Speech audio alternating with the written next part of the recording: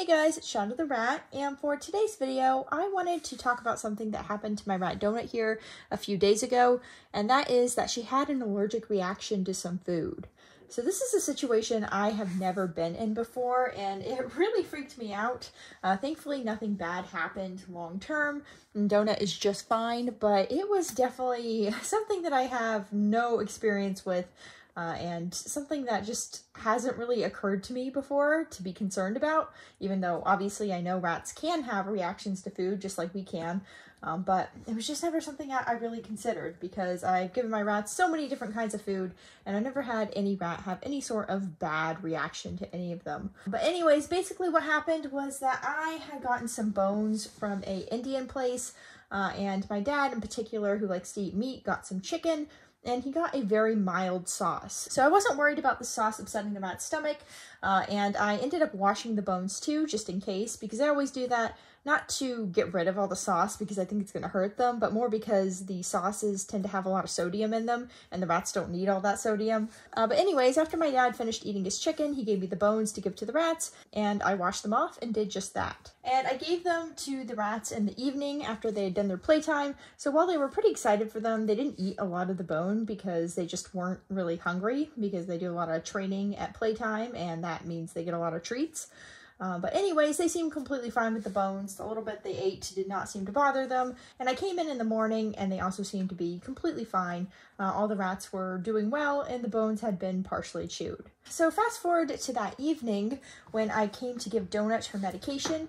Uh, for anyone who doesn't know, Donut here has a pituitary gland tumor, which is a type of brain tumor. She's on three different medications for it, and it keeps her completely stable. She has a completely normal quality of life, and honestly, other than the hair loss, which is due to the medication, uh, and her, well, having medication daily, you really wouldn't know that she has anything going on because she's just been completely normal in every other way uh, ever since starting her meds. But I don't think it has anything to do with this reaction.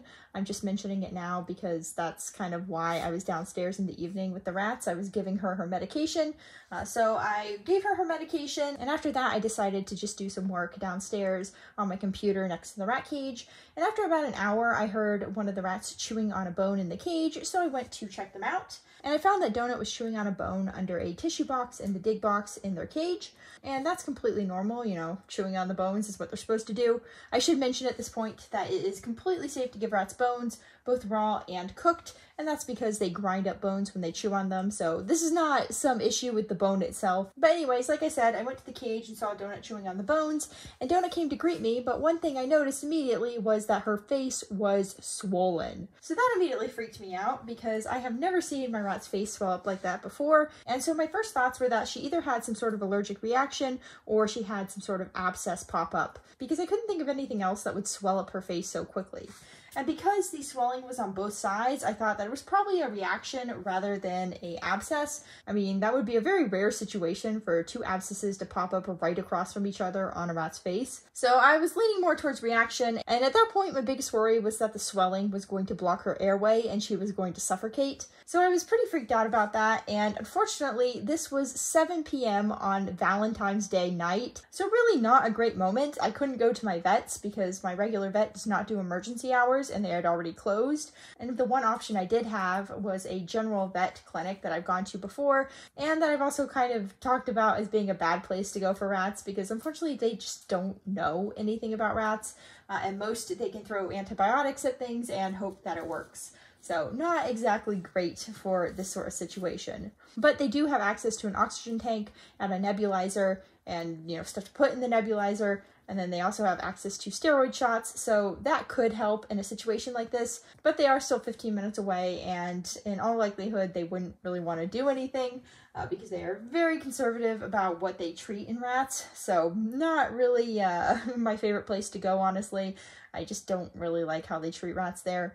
But anyways, because of all that, and because Donut did not seem to be getting worse once I removed the bone, I decided to not go to the vet and just decided to monitor her and give her some medications that I thought could help her at home. So I decided to give her some prednisone, which is a powerful anti-inflammatory. It's a steroid. She's on oral prednisone for her brain tumor, and she gets one dose a day, but she can have a second dose if something pops up. Uh, that's exactly what my vet told me. She was actually initially initially on two doses, but she did so well on it that she was actually able to go down to one dose a day. But giving her two doses is completely safe and because of that, I decided to give her a second dose just in case it could help with any inflammation going on. Of course, the downside to giving something orally is that it does take longer to take effect than something that's given in injectable form. Uh, but, you know, that's what I had, so I went ahead and gave her a dose of that. Now, if I didn't have prednisone, I would have given her infant Motrin, which is also a anti-inflammatory, and it's an over-the-counter one. It is a lot less strong than prednisone is, and on top of that, it also can't be given with prednisone. Uh, non-steroid anti-inflammatories like meloxicam or Motrin can't be given with any sort of steroid. And in Donut's case, she's been on prednisone for several months, so, you know, she couldn't have any sort of non-steroid anti-inflammatory. So that was out, so that's why I gave her the second dose of Pred to hopefully reduce any inflammation. And then I also gave her a dose of Benadryl following the guide on the Rat Health Guide page. I only had the adult version, unfortunately, so the pill version, but I was able to go ahead and grind it up and add it to some water, and after that I was able to appropriately dose Donut. She was not a fan of the bitter taste, but she did take it no problem. And after that, I popped her into my travel cage and I just monitored her for the next hour and a half. Uh, thankfully, her swelling did start to go down after about 45 minutes to an hour. It did not get worse at all after I removed the bone, uh, so I am kind of inclined to think that it was the sauce on the bone that triggered this in the first place. Um, but anyways, like I said, Donut did not get worse, and she did start getting better after that short time period. So I don't know if it was the medications kicking in or if she had just been away from the allergen for long enough, um, because she had a pretty mild reaction, all things considered. Uh, so I don't know exactly what caused her to return to normal, but hopefully the Benadryl and prednisone did help. I know at least they didn't hurt, uh, and it did make me feel a little better to be doing something. Donut herself was completely unbothered the entire time. I did notice the first time that when I picked her up that she was wheezing a bit as she was breathing. It was that grunting pigeon-like noise that rats do when their upper respiratory is inflamed. Uh, so that was pretty concerning to me because Donut herself has always been perfect respiratory-wise. She's never grunted or shown any sort of allergies, so that did concern me quite a bit because it just made me think that, oh my god, are her airways closing up? Is she not going to be able to breathe? What can I do here? Uh, but thankfully, nothing like that happened, and Donut ended up being completely fine. And once I put her into the travel cage after giving her some meds, uh, she seemed to calm down some, and the wheezing went away as she calmed down. So I think it's just the fact that she was so excited to come out of the the cage combined with the inflammation that was going on that caused her to make that sort of wheezing, cooing noise. Uh, but thankfully it didn't get worse and she improved pretty quickly after that. So all's well that ends well, so to speak. Uh, Donut herself was not bothered at all by the experience. I think I was way more freaked out than she was, but I am so glad that the story ended up having a happy ending and that Donut is doing just fine. So yeah, that's pretty much the entire story. I will probably show you the clip and pictures that I took during the whole experience. Overall, nothing really happened, and I'm very glad about that. Uh, but still, I thought I'd talk about it some because it really freaked me out, and it's a situation I've never really thought of. Of course, Donut will not be getting any more food from that place, and I will not be giving any of the rats any food from that place, just in case.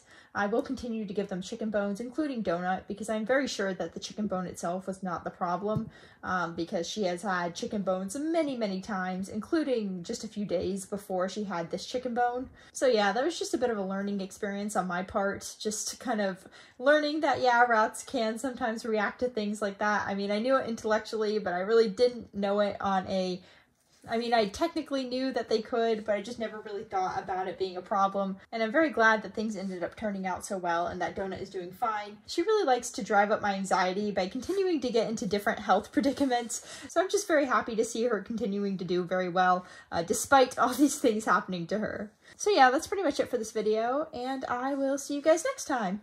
And here's hoping that Miss Donut here will give me a break. Please, Donut, please, I can't take it. Uh, okay, I will see you guys later. Bye.